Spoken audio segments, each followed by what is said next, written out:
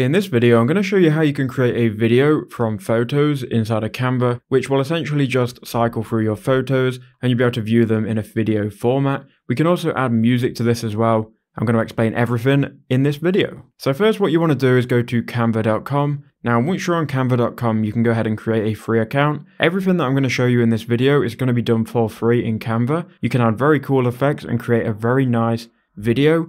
And it's great for just looking back at photos and creating a video from memories. So you want to go to create a design once you've created your account.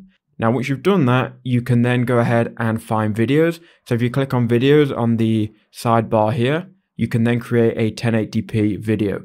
Now, just remember a 1080p 1920 by 1080 is going to be landscape. If you want the mobile format, so it's like TikTok in short form, you want to go to the mobile video dimensions.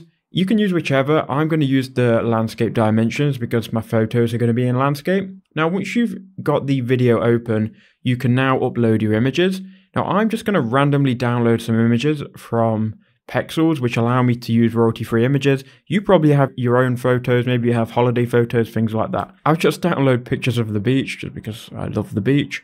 So I'm going to download four or five photos. Okay, so we've got four photos downloaded. Now you're going to need to make sure you know where these are, what folder they're in. And then once you're on Canva, you can go to uploads on the left here. And that's going to allow you to upload your own photos.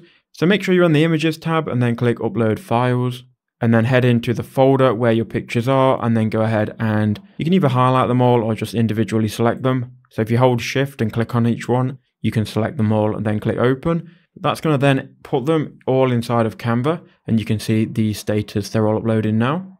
Now once you've got them uploading, you need to then drag them onto Canva. So I'm going to drag image number one and we're going to resize it real quick. Now this is going to be very brief and very quick. Then go to add page. Then you can drag in image number two and again, we can do the exact same, then create another one for image number three, and then add page, we can add image number four. Now don't worry about positioning and you can move the order as well. We're going to cover that in a second. So now we've got our images in our timeline and you can see every image is going to last for five seconds long. Now, if you want to shorten this and you want them to only play for a couple of seconds, because if I play it, look, and I'm on the first one, if I play it, five seconds is actually quite long. So you can go to this timer up here, click edit timing. Maybe we can bring this down to about three seconds. And if you want to apply this to all of your images, click on this and it will now make all of them appear for only three seconds. What else we can do? If we hover over in between the different clips, we can add a transition. Now this just makes everything a bit more visual and easy to watch.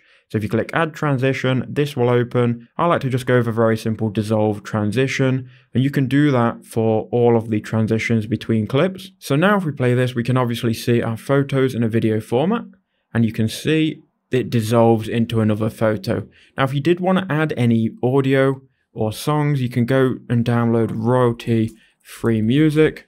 So if you search on Google royalty free music, you can go to Pixabay and here you can download any song or music. I'm just going to download this one without hearing it, but you would obviously have a song in mind. Now once you've got your audio track downloaded, you can then go to the upload section on Canva, upload files, and you can go ahead and upload that song just like you did with the images. You can then go ahead and drag that song on the timeline and you can move it around. And also if you right click on the song and go to volume, you can bring the volume down. So it's just playing in the background. And now let's have a listen and a watch of the video. So that's nice, right? If they were holiday videos, that would be nice to look back at. Now we'll go to share in the top right hand corner, we'll click download, make sure you download it as an MP4 video, click download again and it will then download that video, obviously, of all of the images that you've added. It will then download that into your download section of your computer and then you can watch and do whatever you want with the video.